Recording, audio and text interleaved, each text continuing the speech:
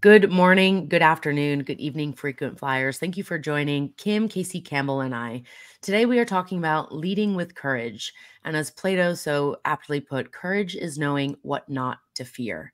We're going to dive into leading through the face of fear and having practical decision making insights, how sometimes our personal and professional lives are diametrically opposed in terms of our goals and how we feel about them, and using stress to really build our resilience and grow from and through these experiences. Kim is a retired Air Force colonel who served in the Air Force for 24 years as a fighter pilot and senior military leader. She and I have many mutual friends in this space. We were just talking before we got on the show about aviation and the power of being able to connect in our industry. Kim, I'm so excited to have you on the show. Thank you for being here today. I'm excited to be here as well. I'm really looking forward to our conversation. Me too. And we also had some some guests joining um, even earlier than the lives start putting in some comments. So for everyone that's watching, if you're here with us live, please do feel free to comment throughout the show and ask questions, and we'll make sure we address those before we sign off for today. So Kim, I know that you've written a book and you know you're you're really really passionate about leading with courage and and facing fear head on can you tell me a little bit about how that came to be the title of your book you know um, flying in the face of fear and why this is so important to you yeah, I, you know, it's interesting. I was actually really hesitant to use the word fear in the title mm. of my mm. book um, in fact, I've got some feedback that maybe I shouldn't use it. And I thought, you know, that's exactly why I should, is because sometimes we're afraid to talk about fear. We feel nervous or worried when we talk about fear.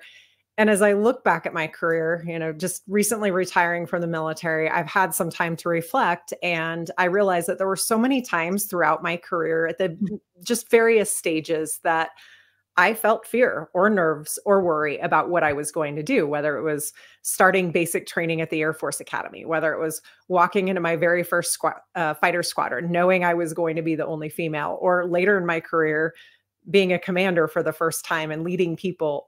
And even as a military spouse, when my husband deployed, I mean, in those moments, there was fear, there was worry, there was doubt. And mm. I, what I realized is that it's all about what you do in those moments. Like fear is a very normal reaction. It is all about taking that next step, you know, walking in the door, walking up the ramp for basic training. It's just taking that next step, being afraid and doing it anyway. And so that's kind of the I guess that's where the idea for the title for the book came in and I really just felt like we do face fear. It is all about what you do in that moment and as a leader specifically, there are so many times where you doubt maybe a decision or feel worry about that tough conversation that you're going to have. And it is, again, it's putting in the work, being prepared, being ready so that you can take action in those moments. And, and so that's the idea uh, behind leading with courage, because it does take courage to do the hard things in leadership. It does. And you know what you just said there about being ready reminds me of a, a, quote that I I used the other day from Will Smith, which is if you're always ready, then you never have to get ready. That's right? good. And, I like it. I thought it was, yeah, it just, you just uh, re- reminded me of that. And, you know, sometimes those hard things we, we worry, maybe we've never done it before, right? We, we, we don't have maybe the expertise or the skill set where we don't feel confident using it. But the only way to gain that confidence is through the practice, through doing it. And I love the, um, being afraid and doing it anyway right? Because we can ride that edge of excitement and we can and look at it from a different perspective. And i i saw this um, video of a roller coaster yesterday and the caption was would you ride this? And it was doing all sorts of things. And it also just looked quite terrifying. But there was also that piece of me that was but wouldn't it be fun I'd be terrified, but I would also have fun. Maybe now I'd also have neck pain because I'm not 12 anymore.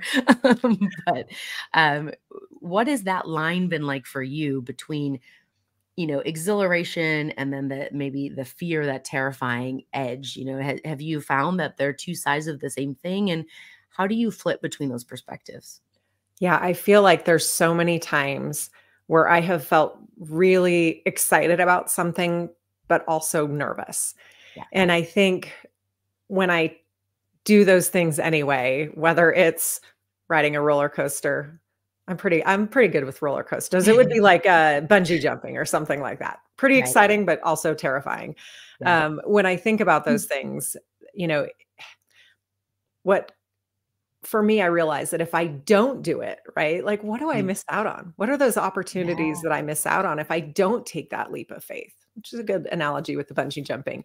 But I think, you know, just even opportunities in our life and in our mm. career um, where you can be excited, but there's still that maybe little sense of inner doubt or, or nerves that go with it. And I think about what's on the other side of that? Like, what opportunities am I going to miss? And I'll tell you, I was very, very nervous about publishing my book. I just, I, I, felt passionate about it. I was excited about it to share the message, but there was also this part of me that was like, this feels very vulnerable. Like, this yeah. feels like I'm putting it all out there for everybody to see. And I know not everybody's going to like it, but secretly, you do want everybody to like it. And so, it's a human thing that we want to yeah it's just i think now like if i hadn't done that like all the people that i've been able to connect with and that have reached out and just the small little differences that you know i've made in people's lives like i would have missed out on that they would have missed out on that and i think it's just mm. Sometimes you have to take that leap of faith even when it feels really uncomfortable absolutely and you know to that point as well sometimes we don't know who we're impacting, right? We were talking a little bit about that on uh, before we went live. And that's okay. We don't always need to know all of the lives we've touched or impacted. And at the same time, when you finally do get to see that, it makes it all worthwhile. And so, what I'm hearing is that it's really important to have a practice that allows you to feel that that self trust, that that confidence in yourself, and that belief that even if this person doesn't like me, I'm okay because I like me. Yeah. And I think, you know, I look back to my days flying the A10 and my our primary mission was close air support. And so I knew that we were making a difference for the troops on the ground. Like I, I just I understood that in general. Yeah. But those moments where somebody sent me a note or came back by the op center to talk to me, like that all of a sudden was like, wow, this is exactly why I do what I do because of these people and because of this impact. Even if you don't know it specifically all the time, it makes a right. difference. But something else that you touched on is that preparation going into it. And sometimes when you hear that reminder, when someone says, hey, something you said or something you did connected or stuck with me or made a difference in my life, it's a little bit of a reminder to me of the responsibility to be ready, right? So that yeah. you don't have to get ready. It's that you know you're you're prepared you're ready for that moment no matter when it comes or what it is you put in the work you practice you plan for contingencies you just you do all those hard things so that in that moment you're ready and that way you can best support in my case as an a10 pilot that i was ready for those moments supporting troops on the ground um, but that preparation is critical. And for me, it's been like the driving force throughout my career. It also has helped me face those fears and face those doubts by putting in the work. Um, because it just, for me, when I start feeling those nerves, it usually means I haven't put in enough work. Uh, yeah. And so it's a reminder to get back into it. I love that. So you're using, instead of getting lost in the emotion and letting it overwhelm you, you're using it as information that helps you make a better decision. Yeah, absolutely. Yeah, I love that. And you, you know, I think in the day-to-day life, we are so busy. And this is something that we often do for self-preservation, right? If we're busy, we don't have to face those feelings of nervousness, of anxiety, of, you know, oh, am I doing this the correct way? And yet, once we can pivot and look at it from that other perspective of this is just information, and if it makes me uncomfortable that's that's a good indicator that i sh- i could move over there and get rid of this discomfort and also be in a better position for better decision making and that goes for personal and professional life. You know when we when we feel those feelings of discomfort instead of trying to hide from them we can use them to as you said you know build that build that resilience. And in those small little moments they will they will add up. So when the big moment comes you can default to that training. Yes, very well said. I think it's that I, for me, like I'll just like I'll be up at night. I'm like, why? Why am I thinking about this? Or. I'll just it's something pop, you know, popping in my head constantly, and I'm like, why do I keep thinking about this? What am I so worried about? And so for me, I've learned I just need to acknowledge it. You know, I just need to mm. go, okay, I'm clearly worried about this, or there's something that's not quite settled. So let me take the time to just acknowledge it, and then okay, let's let's dig in now. What yeah. am I? Am I not prepared enough? Am I worried about the conversation? What can I do to kind of either? I believe in visualization. This yeah. stems from chair flying as in my early days as a pilot, but I I'll just walk myself through it and kind of acknowledge what I'm worried about with it. And then, you know, maybe I need to study a little bit more, or maybe I need to do a little bit more research on something, or maybe I need to practice a little bit more. Um, yeah. and, and I'm also a big believer like, okay, let's think through the worst case scenarios here. Like, yeah. what am I so worried about? Like, let me think about those things. And then I'm like, okay, now I've got a plan to deal with them. I know what I'm going to do if that happens. Now I need to let it go uh, yes. and move forward. I love that. And I'm a big proponent of visualization as well. I was a competitive athlete growing up and that is something that you do before competition. You know, you you see yourself nailing the jump, hitting that ball, throwing the pass, and that is what is allowing you to do it. And you know, there's always, you know, people talk about the adrenaline that you get when you're on that show floor. So whether you're speaking, whether you're leading a team, uh, whether you're about to take off and you're doing your pre-flight briefing, all those same things are happening. And so you know, our brains are real fascinating. And even though it's not physically happening, if in our mind we are visualizing it, that is a version of reality that our body is now experiencing. And so all of the same hormones can start to go off and those same feelings. So we can start to invite those in. And then being prepared to face any potential downsides is how you know that you are capable to be able to get through that when it comes. And I recently, um, last year, was introduced to doing it on the flip side because we still don't like not knowing. We fear the unknown.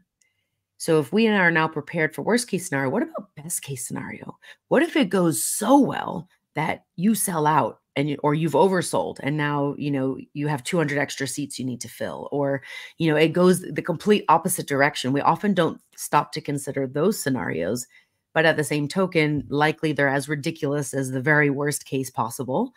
And in the same token, we can start to prepare ourselves for what might happen. Because imagine that, you know, best case scenario happens, you might be going, well, I, I did not expect this and I'm totally unprepared, That's even though so it's a true. wonderful thing. Yeah, that's so true. That's such a great way to look at it. It's the, yeah, you, I mean, ideally you can kind of think through that best case and you'd love to happen and, and you're prepared for no matter what happens. Yeah. Um, I, I look at that it also in terms of like a debrief after an event.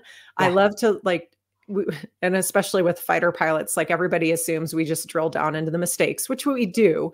But I also think it's really important in a debrief when you're doing, or an after action report or a team huddle, whatever it is, that you talk about the things that went really well because ideally you want to repeat them again. And so yeah. focusing on the good is as important, equally important as, you know, focusing on the mistakes and learning how to learn from those and do it better the next time. Absolutely. And I love that you brought up the concept of the debrief because a lot of people are aware there's a pre flight checklist, right? And there's a series of steps that you go through. But that debrief after, no matter if the mission was a success or not, is so important because if you had a mistake, you want to uncover what led to that mistake so you don't repeat it. But if you were successful, you also want to know how to keep doing more of the same. Yes. You know, otherwise you're throwing spaghetti at the wall and hoping that something sticks. Yeah, that's I mean it's and sometimes we get so busy and caught up and just moving on to the next thing that we don't spend the time to debrief. But as you said, like and you'll find this a lot when you're successful, right? Because you're like, oh, good, done, move to the next one. But what made you successful? You know, right. really like what were those key moments that really connected with people? Or, you know, what are those key things that you did to cause that success? I think it's just as important. Absolutely. Well, and the woman that I co presented with, Renee Bengelsdorf, uh, last week at BACE, one of her favorite questions to ask is, What about my leadership led to these results? Because whether those results are positive or negative that is taking the ownership of the the behaviors and patterns and actions that you as the leader had and it will also help you to uncover well maybe i didn't clarify the the request after I, I made it and i had an assumption that there was understanding right? And so there's there's a lot of micro moments that when we are aware and we are checking in, tuning into the right frequency, we're able to capture.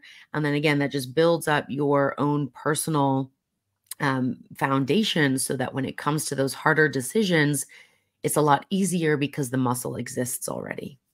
Isn't that so true though? Because I think we tend to spend the time thinking about the things we did wrong, right? We, right. ooh, how could I have done that better? But the question is, what did I do that caused this success here you know it's it's yeah. helping you also focus on the things that you did well we tend to be or at least i do tend to be pretty hard on myself and there could be 99 things that go right but that one little thing that goes wrong thing. is really where i am going to give myself a hard time on but would i ever do that with my team no so why do i do that with myself Absolutely. And we've got some people saying good morning um, from Seattle, from Nebraska. Thank you for joining us. Um, I don't think you're alone in that. I think that there are many people and it, we're designed that way. We are we are designed so that we can avoid danger, we can survive and you know not eat those poisonous berries again or oh that's where the saber-toothed tiger lives and so it's it's our reticular activating system at work and so when we focus on those successes those best case scenarios the things that we can do to repeat positive outcomes we'll invite more of the same because we'll begin to recognize like oh this is happening again. I can now do this and have that result rather than being oblivious to it and maybe missing that opportunity. You know, there's there's many times where if I reflect, I think like, man, there was probably somebody like waving red flags like hey over here and i was so tunnel visioned on this direction and that you know i had to get over there that i completely missed it but if i would have taken a, just a pause to hey what are my surroundings what oh whoa look at that maybe maybe that's some information I'd like over there. Yes, very true. so, you know, when we talk about preparedness, you know, what are some things that, you know, as you have gone through the preparedness, obviously in, in a flight briefing session, uh, that's that's what we have to do. But in your personal life, how have you taken that and translated that into the day to day activities? Well, I think for me, I, you know, there is the get in the books approach, you know, do your research about something. Um, for me now as a speaker, my, you know, my research is a lot about looking into different companies and what their values are and connecting with people and mm-hmm. really learning about them. Um, but I also, like I said, I believe in practice. I believe in visualization. So for me now, again, I'm, you know, I will rehearse, but I also do a lot of visualization. Um, and then I do a little bit of planning for contingencies and thinking about those scenarios. And I, I feel like I learned those techniques in aviation. You know, I started out, you know, as a pilot being in the books and studying and then chair yeah. flying. So thinking about being in the cockpit and visualizing it, practicing radio calls, and also thinking about those contingencies, the emergencies, or what things could go wrong. And I just found that that translates now. So, you know, that's how I use it now. But I think even as a leader, later in my career um, as a as a military officer, I realized in leadership it was very applicable as well. I mean, it, it's everything from do you have to make a, a difficult decision? You know, there's something going on, you have to make that decision. Well, do the research, right? Do your homework, prepare by finding out you know are there after action reports are those those things in you know that have what's been what's worked in the past what hasn't yeah. Um, and I still believe in the practice and the chair fly and the visualization. I think you can do that as a team. It's a, a team huddle. It's a walkthrough potentially of the day's events or a, a tough presentation or negotiation, whatever it is. You can actually practice. You can chair fly. You yeah. can visualize. Um, and then, like you said, uh, you know, you take the time to think about those things that could go wrong. But I love it. I'm also going to think about the things that could go really well. And are we yes. ready for those? Yes, amazing. And I, I love that you just brought up that walkthrough um, practice because I think some in, in the the business setting and particularly in corporate aviation, things are moving so fast and they're changing constantly. And yet, if you can do like a verbal walkthrough with your colleague of that day's fly, aircraft that are flying and just, you know, two eyes looking at something, sometimes you stare at that you know screen or that piece of paper and you will miss. Our brains omit repetition. They also will fill in information when there's a gap. So you might be missing something because you've been in it for so long. Getting that other person to be on that walkthrough with you is going to help you catch some of those small mistakes that could add up and lead to you know um, a permit not being granted or a miscommunication of some kind and, and something going wrong yeah. And even if it takes just do a quick five minute huddle, you know, yeah. before you walk in the door, before you step to fly, whatever it is, you know, just if you don't have the time, and this is what I hear from leaders a lot, uh, yeah. is we don't have the time to do that long briefing or debriefing. I'm like, well, okay, ideally you make the time, but you know what? F- a five minute huddle to talk about some of the maybe the risks or the tough things that we might face, just that quick sync, it's better than nothing. Absolutely. And once you carve out that time, even if it's five minutes, I find that it becomes way easier for that to be elongated. And then you begin to realize the benefits.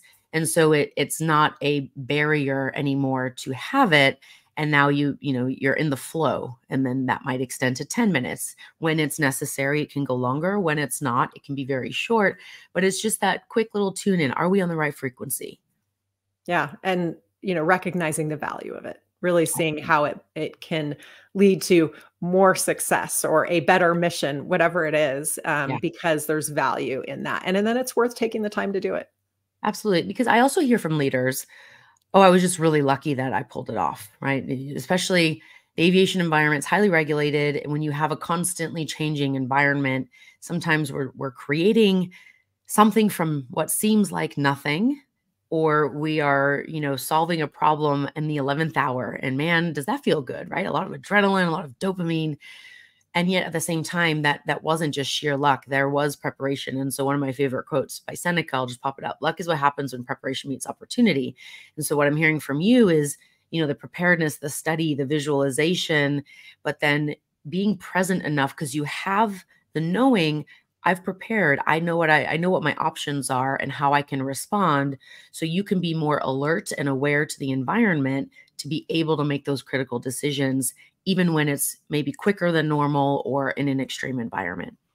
Absolutely. I love that quote. it's one of my oh, favorites. Yeah. Seneca, I mean, I, I love stoicism. It really, you know, as you were talking about preparedness the other day, the the little lesson that I had was you know, we focus on the big things, right? Like career transition, death, birth, I lost my job, um, you know, got in this huge fight, overcame it, went through divorce, whatever it might be. But it's actually how you handle those small petty moments, right? The the person that cuts you off in traffic, or um, you know, the person that you're training that made a mistake, even though you might have explained it very thoroughly because they're brand new and they really just need practice at it, right? All those little moments. And uh, that was a, a great reminder for me to read, you know, because sometimes we forget that and we we kind of gloss over or skate or we don't pay attention and and the paying attention is uh, where we can get the most benefit and value and people are watching those little moments. Like as a leader, people see those things. Um, I see it with my kids. Uh, they see the little moments, you know, they're watching and they notice the little moments. And uh, the little moments over time can become big moments. So, yeah, I agree. Those little moments do make a difference. When you mention kids and the phrase they're watching, have you, have you watched Monsters Inc.? Yes, I have seen that. so I'm thinking of of Roz, the the the like little lady. She's like always watching, you know, that scene in particular. Um, so for those of you who have not seen Monsters Inc., I, I, encourage you. It's a great movie. There's a lot of lessons in there as well that uh, you might be able to get from our conversation today. Um, so I want to segue into you know you know personal life professional life you know kids our family the way we interact with them and then we are leaders and, and we play different roles right? When when you were uh, um, an air force pilot and you were leading a team that role is different than the role when you come home to be a partner or a spouse or or a mother right? And yet you're still you you're you're still the same person. So because of that we sometimes have goals that are very conflicting and we then feel guilt or um, passion or excitement or fear, you know, in one space, but then when we start to think about the other, it's the opposite. So can you, talk, can you talk to me a little bit about how you've experienced that in your career?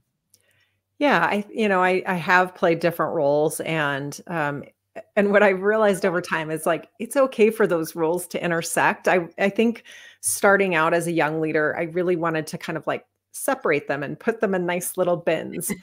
Um, and the reality is is like that doesn't make you very human it makes you a little bit more robotic Yeah. And I recognize that when I could talk to my team, my young airmen about being a mom or sometimes the struggles that I had or whatever was going on in my life, like that actually created connection for me. Mm. Um, and they saw me more as a human than this just like, you know, fighter pilot, you know, combat proven. And I walk into a unit and, you know, now I'm the leader. And, you know, at first I felt a little bit more rigid because I'm trying to, you know, put myself in these nice little boxes. Right. And I think I just realized over time that that wasn't very effective. That wasn't really what brought connection with my team. And I, I have realized over time that the more I connect on that very human level, the more I actually allow some of those things to intersect yeah. um, and share and be open, the better I was at all of them. You know, I was just, yes. it, I feel like, you know, being a better parent made me a better leader. You know, just yes. there's a lot of intersections. And I think people actually want like that authentic human leader versus, you know, someone that just doesn't really have any personal connection. Um, have I always done it well? No. Like I feel like there are times where I really struggled to, you know, do it all. Um, right. And I, you know, I think back to times where my husband deployed. My husband was an A10 pilot as well, and he deployed for a year and I just was really struggling trying to do all of these things. And I realized that like it's actually okay to ask for help. you don't have to do it all on your own. Oh yeah. Um, I still work at that, but I, you know, trying to play all of those roles sometimes you just can't do it all very well. No. And that's when it's time to ask for help. So it has been a struggle throughout my career. It's been, I've worked really hard at it, but I actually feel like I've gotten to a point where when I'm more comfortable with myself, I'm, you know, I am okay that I can say, I can't do that because my kids have soccer practice. Right. You know, as whereas before I worried like, well, does that make me look weak because right. I am a mom and I, I'm can't actually stay two hours late. You know, just I am more confident and comfortable in who I am. But I also recognize that it almost gives your team permission to like be more yeah. human and to acknowledge, you know, the struggles that they have in their life when you share a little bit of yours. Yeah, I love that. The giving permission because as with children, they will not do what you say, they will do what you do.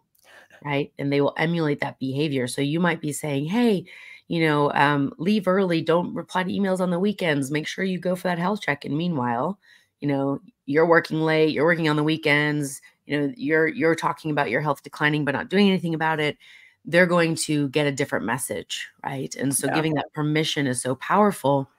Um, and particularly being a woman in a male dominated industry, right? We have uh, that we've had this narrative of competition with other females, and we have to be a man in a man's world, right? We have to kind of be on the same level. But being on the same level doesn't mean we have to be a man. Doesn't mean we have to do it exactly the same way. And there's benefits in in being in the feminine versus the masculine and that the energy interplays, the interconnectedness between that. And so I've, I've finding as I talk to more and more females who have been in the military, who have been in aviation aerospace or male dominated fields, there is now a, a wonderful trend. I'm very happy to see it where women are stepping into the it's okay to not have it all or do it all. You know, and I, I saw, I forget who it was now, but it was like a very prominent female leader who got asked this question, like, how do you do it all? And she was like, I don't. And I don't want it all. And neither should you, because man, that's a lot of work. Why would you want to do all of those things? And I think we, for a long time, had this thought that we needed to do it all. And now we're accepting that it's okay to not even want to do it all, even if someone else is telling us that we should.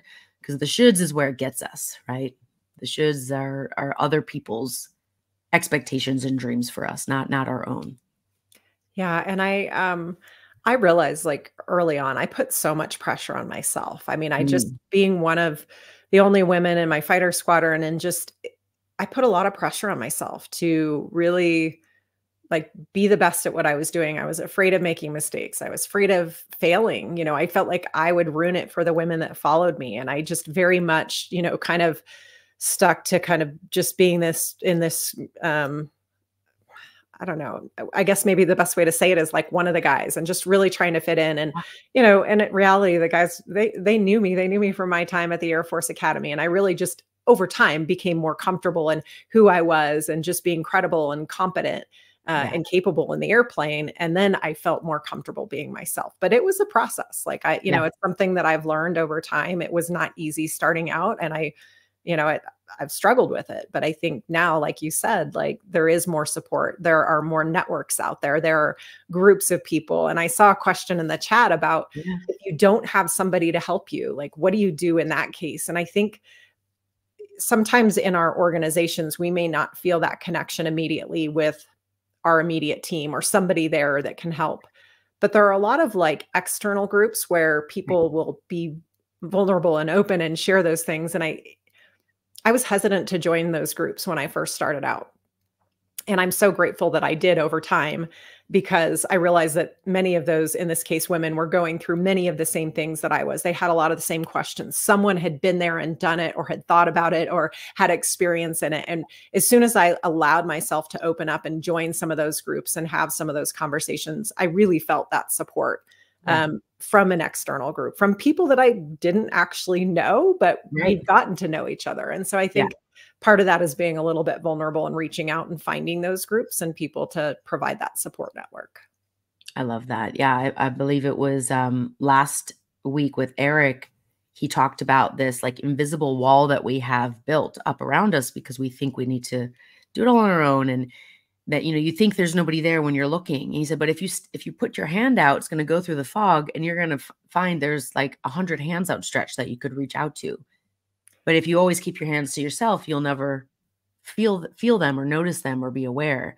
And so I like that, you know, you, you mentioned going to external groups and sometimes it can be hard. You know, you have to you have to go to a few different ones. You may not resonate yeah. with the first group um, that you start to connect with. Um, but the more you do it, the easier you get to know you know you know yourself more. Yeah. go, okay that didn't work for me. That was too much of this or not enough of that or you know lovely people but eh, just it's not doing it for me. Okay let me try to go over here and whether that's an all women's group or uh, intermixed or it's about around a hobby or a skill uh, there are so many things you can explore so many different avenues and then you might even surprise yourself. You might find yourself in a you know like gardening club and that was never on your radar before but you really resonate with these people and it, it gives you something that you never experienced and so it can be quite fun to try those new things also. Yeah and i have i think one of the things i realized is that sometimes people want to help but they don't know how.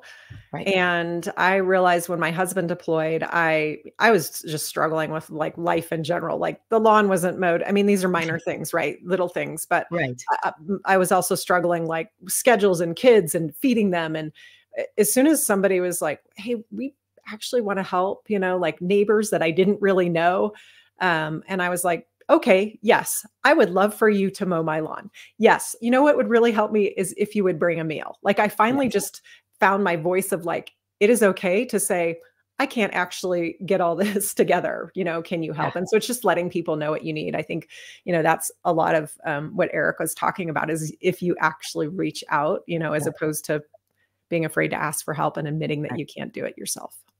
And and even just spending the time with yourself to know what to ask for, right? Because yeah. you said in the beginning you didn't really know, or even maybe you didn't conceive that that was something you could actually ask for help and receive support with from a different role or person, you know, in, in your world. And it's not always going to be clear right off the bat. You know, it might take some reflection, some time, and recognizing what you need first. And when you realize, okay, I can't do this for myself right now, where can I where can I get it? Where can that support come from? And getting very clear. And sometimes those those things might seem like, oh no, no, I don't want to need that. Right. Because we want to portray or express something and you know be impressive. Right. A lot of times as we grow up in leadership, all of a sudden we feel like we have to impress everybody. I have to prove that I belong here. And so we do certain things and think that we can no longer have the help or have the support. And so, um, what would you say to people who might be having that thought? Start small. Coming from somebody that um, has struggled with asking for help, uh, you know, asking yeah. somebody to mow the lawn is a lot different than asking them to watch your kids for four hours. Right. Um, you know, starting with those just small things or, you know, reaching out to people and just starting small to help you get comfortable with asking for help. Um, and then, you know, then you can open up a little bit more and, and recognize that people are willing to help. And then you can ask for the bigger things. Yes, I love that. Starting small is always the best way. Just like we men- you mentioned before, you don't need a, a super long huddle, just five minutes, right? Yep. Connecting in and and having that ability to test and make sure, right? You know, it's I it's kind of like when you go for the the sample at the store. Do I actually like this food before I buy it? And then you've tasted it and you're like, that was delicious. Yes, let me get it. Or you're like, nope, I hated that. I'm not going to buy that particular product. And sometimes it's important to just have the small victories, like those small wins, like to give us a little bit of confidence, confidence and courage to move forward with the bigger things. Yes. How do you celebrate your wins? It's a good question. Um, I think for me, like, especially now when I'm on the road and I've, you know, did a speech and I come home, like, I actually, I think my celebration now is not much. It's like a day of rest, like hmm. uh, like a, a, hike and a recoup and a lunch yeah. with my husband, and just like put everything else aside and give myself like um, a little break, like a little bit of a, a down day, you know, even if it's in the middle of the week, like I just give myself some rest and like acknowledge what I just did and how busy it was. And just, it gives me a chance to kind of recoup too um, and recharge. So I would say that's really the thing that I, I love to hike. It's, I live in Colorado and it's so nice yeah. to get out in the mountains and it just, I feel like it recharges me. So um, I think that's probably the way that I, that's, you know, looking back over the past year, those are, that's usually what I do is I'll take a day and just decompress. That's beautiful. And recognizing that, you know, again, you don't have to do it all. You don't have to do it all right now and yeah. giving yourself that space to process what just happened and, you know, I'm sure in that lunch with your husband and the hikes, you have conversation and it helps tease out things that you might not be able to recognize or acknowledge if you just went straight back into the grind. Yeah. Yeah, that's very true. Yeah, I love it. I'm, a lot of my guests recently have been in, um, based in Colorado or, or, love the mountains of Colorado as like their key place. And so I think there's something special about that thin mountain air, right? When you're at high altitude and it's fresh and it's crisp and it's clean. It's almost like it helps also clear away all the garbage that we pick up in our day to day lives and allows us to really like come back home to ourselves. Yeah. Well, I, that's what I love about that's what I love about hiking and getting out in the mountains. It's just refreshing yeah. and recharging, and I, I it's a a great way for me to also just relax. And and you know that's also great for anyone who's listening. You may not live in Colorado or have mountains nearby, but getting outside, right? Just moving your body, getting that fresh air, feeling the wind on your skin, that can be really powerful as well. So I'm, Kim, laughing at the comment that says it makes me dizzy.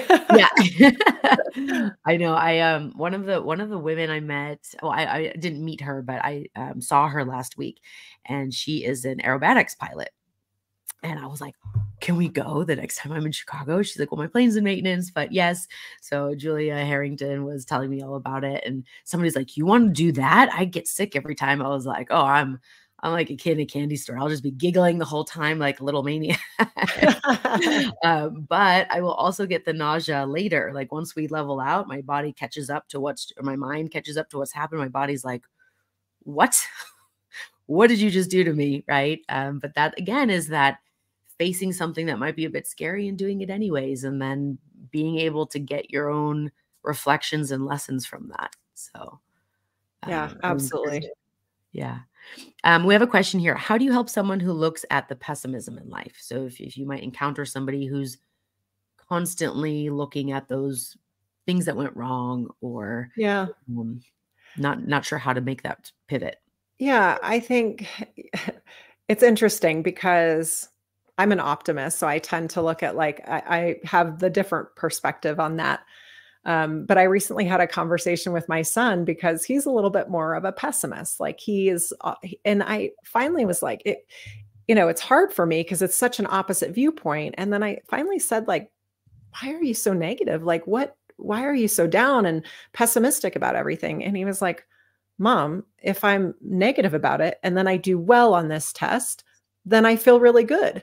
But if I'm optimistic, like I did really well, then I feel let down. And I was like, okay, okay, well that that's a different way of looking about at it. So, you know, I understand expectation. Yeah, and and it, that's just that's the way he works.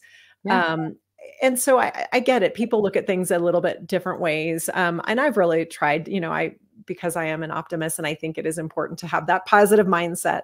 But I am also, I guess, maybe more of a realist, and then I also look at like what could go wrong, the potholes yeah. down the road. So I think it's a just ideally letting someone see both sides, like the benefits of being more optimistic and having a positive mindset, while also acknowledging that that may not be how they're wired. And that's kind of where I'm in with my son right now. Like I'm, I try to have him have this positive mindset and think positively, but I also recognize that his comfort level right now is being a little bit more pessimistic about things.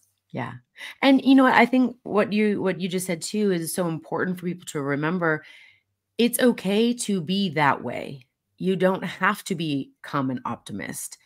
It's more a matter of what's the other perspective that you can offer yourself and you know just trying it on for size, not not uh, changing your personality or making it wrong, right? Because there's we all have different preferences. We all experience reality in very different ways and everything as you said has a limit and a serve so there's there's a way that this mindset can help you and there's a way it can also limit you, right? If you're overly optimistic and you neglect planning for anything that could go wrong, if it goes well, wonderful, but if it doesn't, you might be, you know, up the creek without a paddle. And so there's there's always going to be more than one perspective and one way to solve a problem.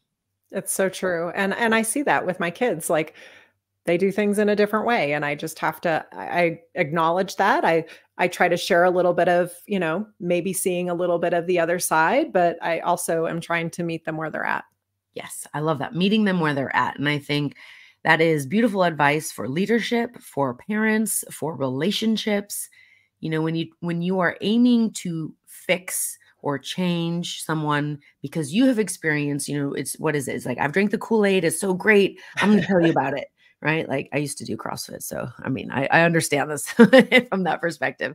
Um, and, you know, you want to tell everybody about all the benefits that you're having in this, but if people are not there, they're, they don't, they don't want to hear it. Right. And so accepting that that's what they're going to do.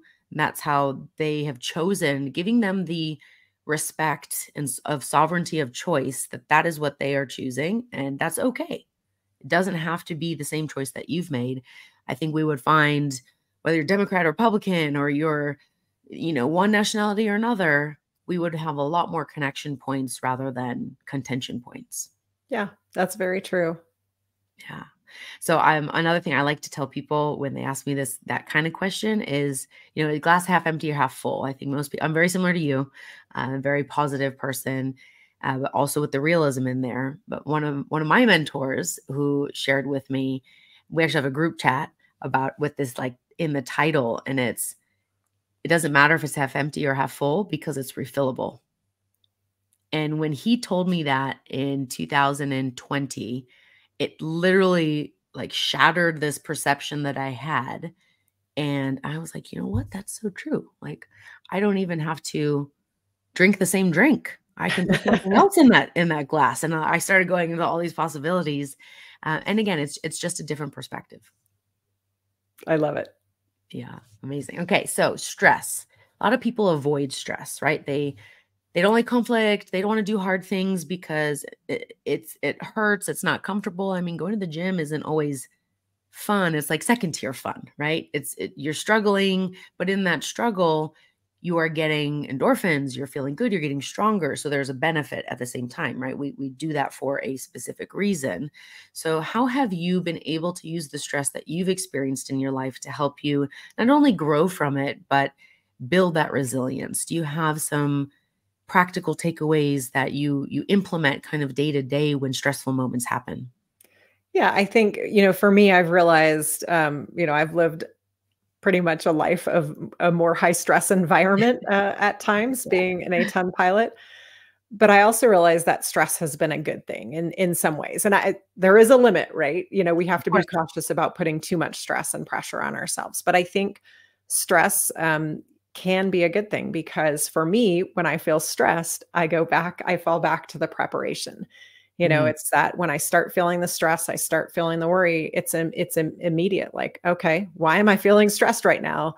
Right. Let me go back, acknowledge it. It's the same thing with fear. I'm going to acknowledge it, and then I'm going to go back to really digging in a little bit on it, um, mm. and really uh, preparing for it and putting in the work and just being ready for whatever it is that's about to come. I think sometimes when we put ourselves in stressful situations and push ourselves outside our comfort zone, um, it allows us to grow. And I think that sometimes it's just shifting the mindset of what that stress is for. Like when we're feeling stressed, it's probably because we're a little bit out of our element. You know, it's something new, it's something different. And so it's a mindset shift of, okay, you know, this may be a little bit uncomfortable, but, you know, if it's going to the gym, uh, maybe I'll feel better tomorrow, or maybe it's 48 hours, you know, uh, after the soreness is gone, but, but I will be better for it. And I think it's just a little bit for me is reminding myself like what's on the other side of that. Push myself through that stress by doing the work, putting in the preparation, and then thinking about like, okay, well, you know, why am I stressed and how am I going to feel about this, you know, tomorrow yeah. once it's done? And generally the answer is I'm going to feel pretty um, good uh, about it and that I accomplished something and I did something hard. Yes.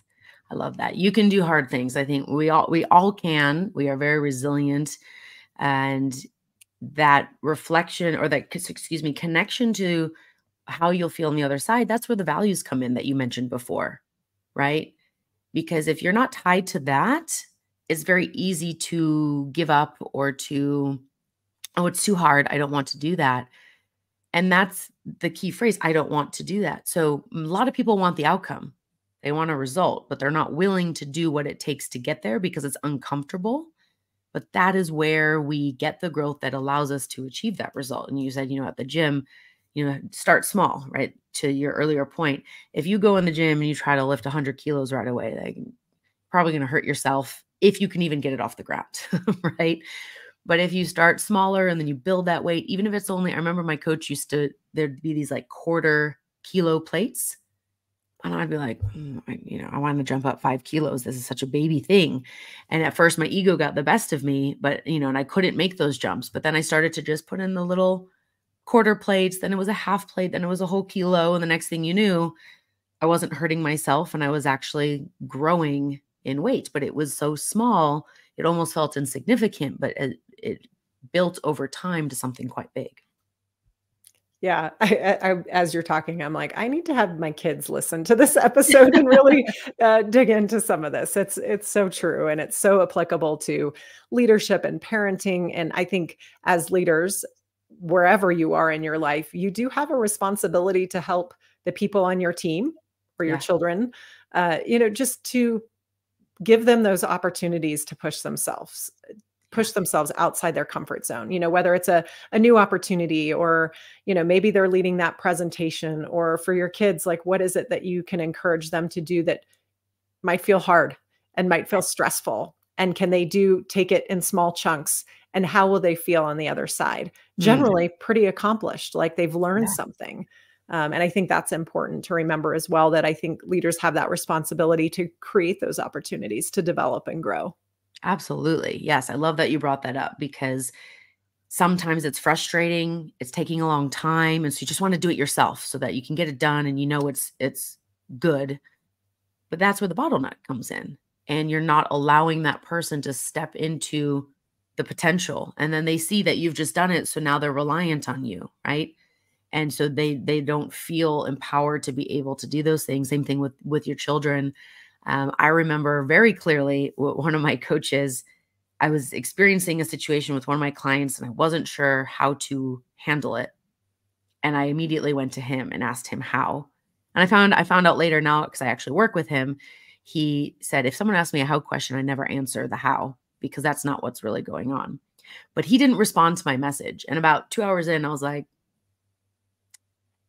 I don't think he's going to reply to me. But I tried. I tried again, and I was like, oh, I have to get back to this. I have to get back to this person. Like, I can't just wait around all day. And then I made a decision and I did it and I learned from it. And then he and I were able to reflect on it. And he's like, When did you realize I wasn't going to reply? So actually, as I was texting you, I thought you might not reply, but I was hoping that you would, you know? Um, eh, but he had to create that opportunity and hold the space and be uncomfortable knowing that I was on the other end having some intense emotion and trust that I would be able to pull my resources together and come up with a solution. Was it the best solution? Maybe not, but it was the best solution that I could have come up with. And because it was my decision, my choice, then the lesson really sunk. If he would have told me what to do, I would have just kept repeating that and never evolved it or grown it or felt confident that I could have really do it without him. Right. So he had to, I'm sure as a parent, you've done that many times, right? And you just watch from a distance and you can see they're about to do something, but you let them do it so that they can learn from it. And sometimes, like, it's hard to let go. And I think sometimes we see with leaders, like, they want control. They're just, it's hard because it's, it will take more time or it just feels uncomfortable to let go.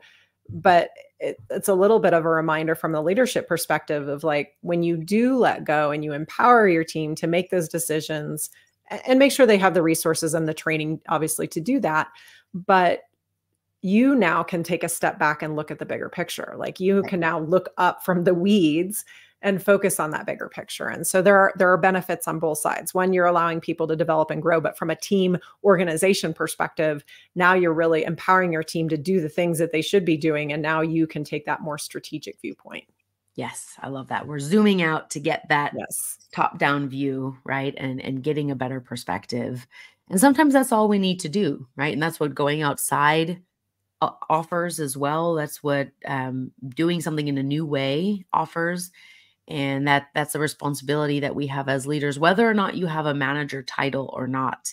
I think people forget that they can be a leader yes. no matter where you are right? Be, because if you've ever influenced the guy from shark tank Daymond John was one of the keynotes at, at BACE and he went through this whole thing and he said, you know, if you've ever negotiated who gets to use the one bathroom in the house when you're on vacation before you go outside, or if you've ever had a presentation, or if you've ever made, been the decision maker of lunch in your group of friends, you have led people and you have successfully sold a pitch.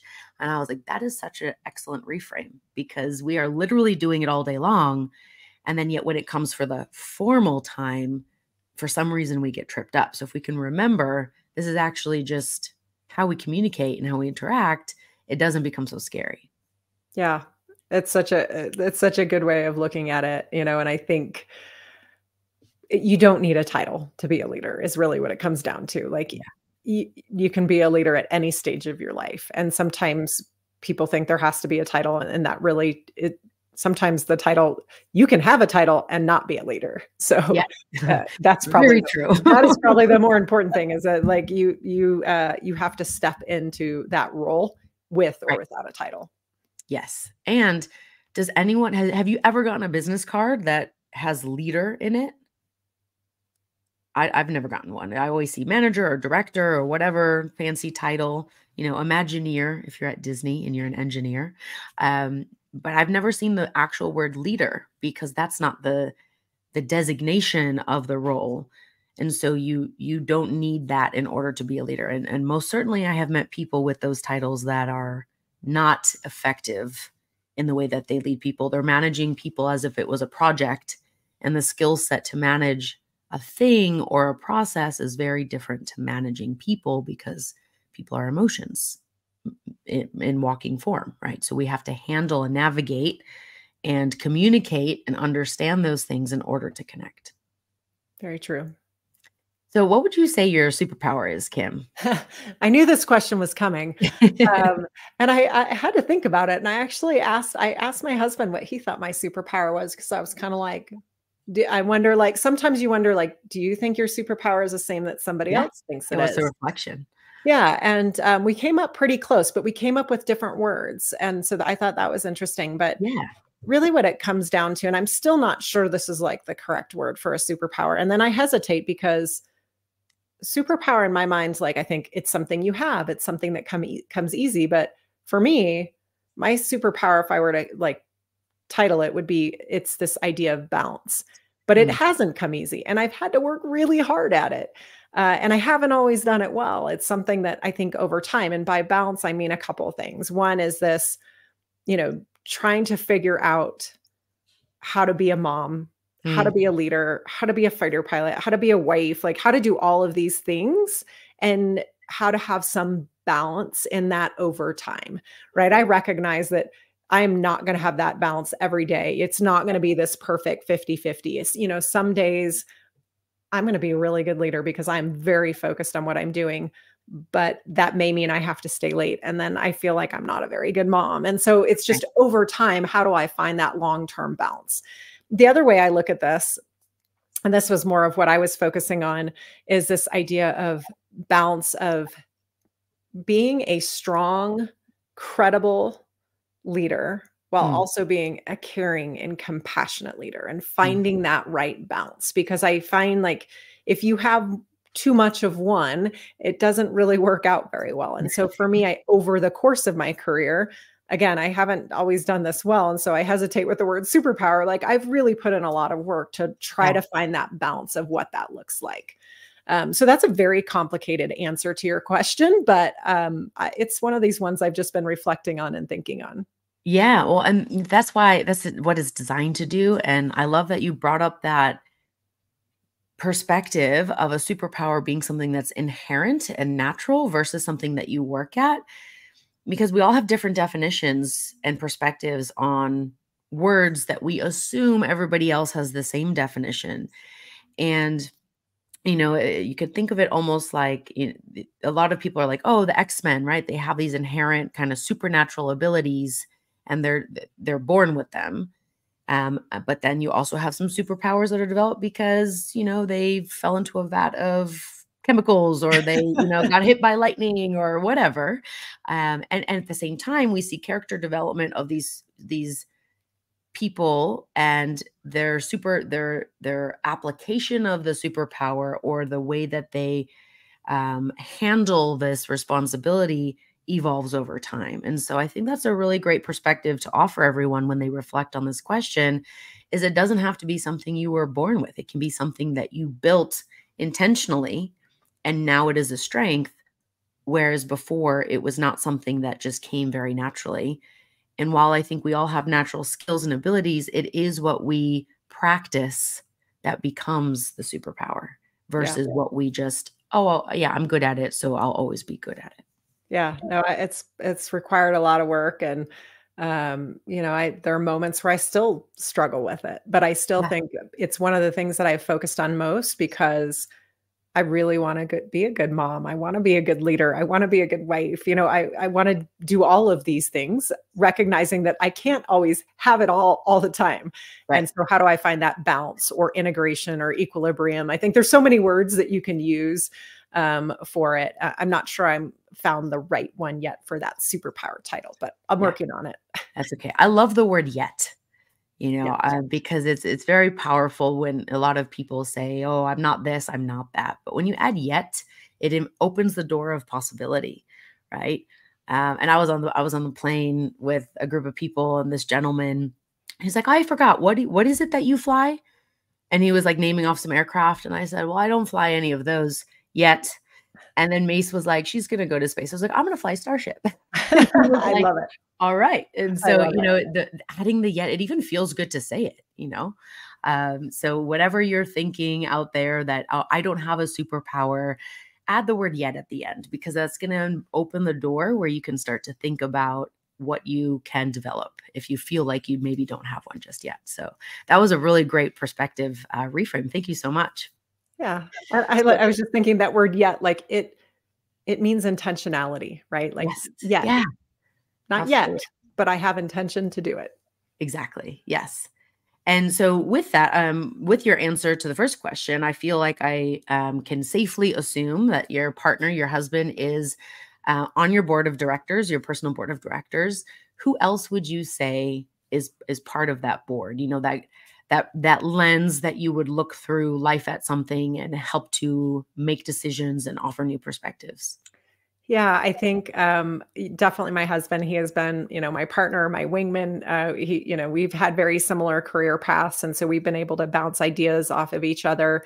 You know, and he also knows some of the, my shortcomings and and where he can bounce me out with that. So yeah. he is definitely on my board. Um, my parents actually, my you know, my dad, uh, very logical, very straightforward my mom, you know, compassionate, that human side. And so I love having people on my board that ha- that can provide that different perspective and a different look at things. Mm. Uh, my brother, because he is not afraid to tell me what he thinks. Uh, he is eight years younger than me, and he um, he will tell me straight up. And I love that. Like it is, you always want somebody on your board or on your team that is not afraid to give you the honest truth and to right. to tell you maybe where you need to to work on some things and so i love that from him and he does it in a very loving and kind way yes. um, or at least follows up with a very loving and kind statement. Yeah. Um, and then i would say i have i have a functional board as well like if i'm working on a you know when i was working on the book and you know still am you know i have people in that space that i feel very comfortable reaching out to and just asking some questions that you know uh, that i'm struggling with or if i'm in the speaker realm like who are those speakers i have you know right. i have people that i go to for different functions in my life right. um, and i think that's important is to find those experts and seek them out and have those people that you feel comfortable really asking some of those questions that you don't feel like you could ask in a larger audience um, yeah. but I, i'm grateful for all all of those people and for being willing to provide their perspective and and mentorship and guidance and direction over the years for sure I love that. And I, I really appreciate your use of the term functional board because who you might go to for a speaking mentorship or question or guidance may not be the same person that you go to for a very uh, a, a different functional task or even a personal situation right just due to the nature of whatever that is and that's okay right it's not the uh, end all be all this person has all the answers it's simply a new perspective and um, sometimes you don't even need to actually go to that person right? It's okay. just well what would what would they do? If i were to have a conversation with them you know uh, what would what would my mom say? It, eh, you know maybe you can't get a hold of her. You know yeah. maybe she's on a, a, plane or she's sleeping. You're in a different time zone.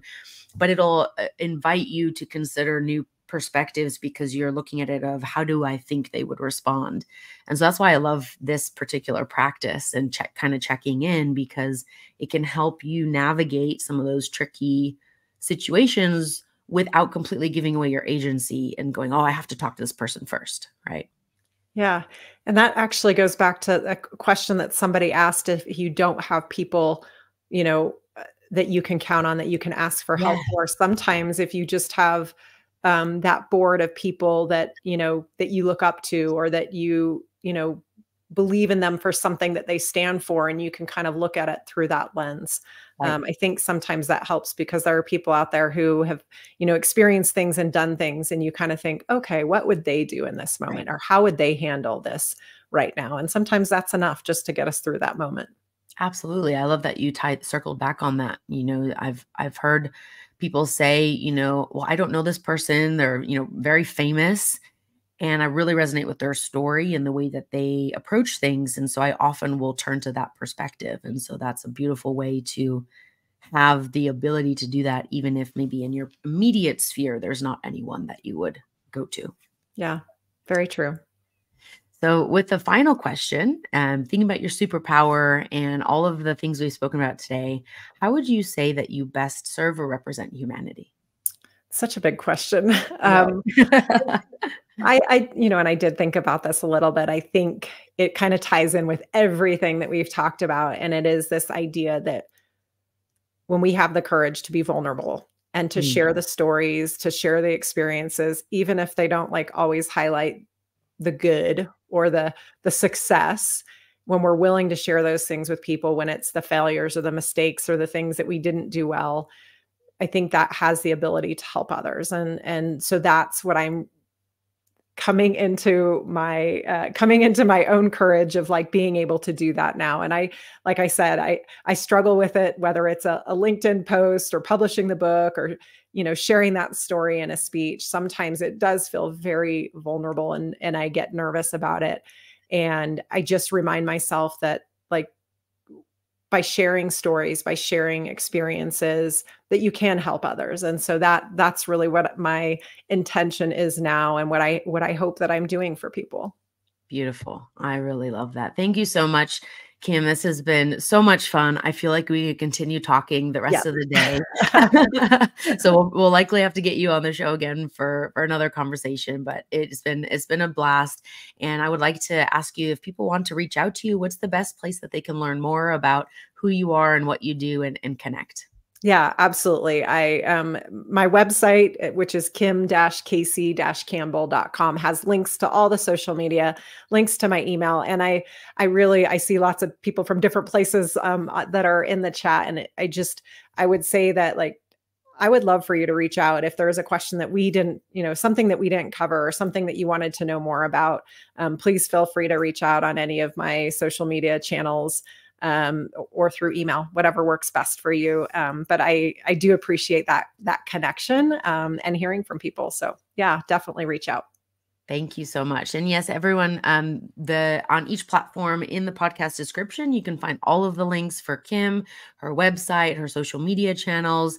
And we love to get feedback, right? We we love to reiterate and reflect and and figure out again, what did you like about this podcast? What did you really enjoy? And what were you like, man, maybe I, I didn't need to hear that, or maybe this format, etc. So I would love to learn as well what you're loving about the lounge and what you would like to see if you haven't seen it yet. So thank you, Kim, again for offering more perspectives for me to to improve this experience for my speakers, for the audience as well. And we will um, follow up with everybody soon.